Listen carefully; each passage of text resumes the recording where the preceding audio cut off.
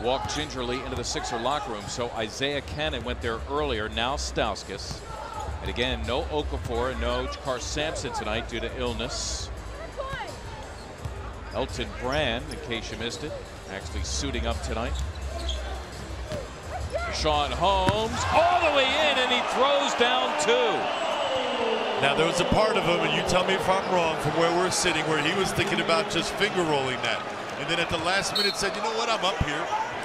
First of all, he's hit en route to the hoop. It was like one of those drills where they hold the pads and you go pin.